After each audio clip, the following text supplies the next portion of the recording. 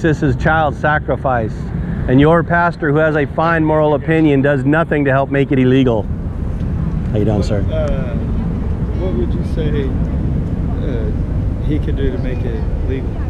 Well, when a bill comes up to actually make it illegal in Texas, he could support it, tell the congregants, hey, we need to go out and support it. We need to call our representatives. We need to show up to the rallies. We have an actual opportunity to oppose the federal government and be obedient to the Word of God and the Texas Constitution and say, in Texas, we will no longer abort babies.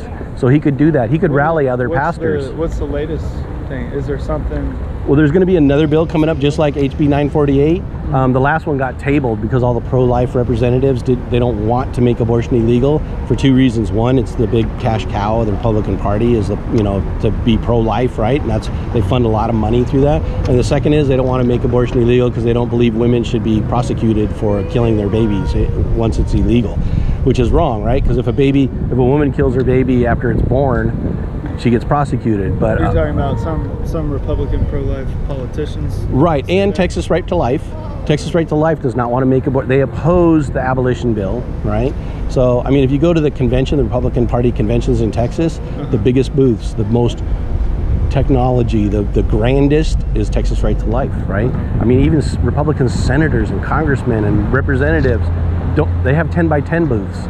You know, Texas Right to Life has like a 40 by 40 booth. You know, it's a huge money game, man. So we want to oppose the pro-life movement because all they've ever done throughout the history of the pro-life movement is regulate when, where, and how you can murder babies. They've never put forward a bill to make it illegal. Only abolitionists, this first bill, HB 948, which was tabled. Now you also got to remember, the Republican Party, they elected every single judge, all right, Christian Republican pro-life party mm-hmm. That voted yes on Roe v. Wade. The only one that didn't was a Democrat. Yeah. He voted against it, and he, he was put in uh, by a president that was a Democrat. Now I'm a Republican, and I'm in the Republican Party. Okay, um, uh, so I'm a Republican. I'm not saying let's switch to Democrats. I mean they're wicked, right? So, but um, we can't wait for the Supreme Court, right? It's just an opinion. Right? They had an opinion on black people that's never been overturned. You know that? It's uh, called Dred Scott. Black people are only three fifths human. That's never been overturned, right? And it doesn't have to be overturned because it's just an opinion. It's not law. They don't make law. So we don't have to cowtail down to the Republican Party. I mean, to the uh, um, Supreme Court, right? So our Texas Constitution says abortion is murder. Right. It's illegal. But we said, okay, the Supreme Court said every woman has a right to do it. Yeah. So Texas um, should do what like California and Hawaii and Colorado have done and said about marijuana. They, they said this about marijuana. I'm saying it about abortion. But they said, hey, look, the feds say it's illegal to have marijuana and smoke marijuana, but we're going to say it's legal and we're going to oppose the federal government, right? If they can do it what- over So marijuana. what's the upcom- Is there a bill coming up or anything that? Um, you can go to um, um, forgot the name of the website. I didn't bring it with me, but you can go to Church Repent there and ask the guys what's going on in Texas, and they'll put you in touch with me. And there is a bill coming. Uh. Tony Tinderholt's going to put forth another bill, an abolitionist bill again.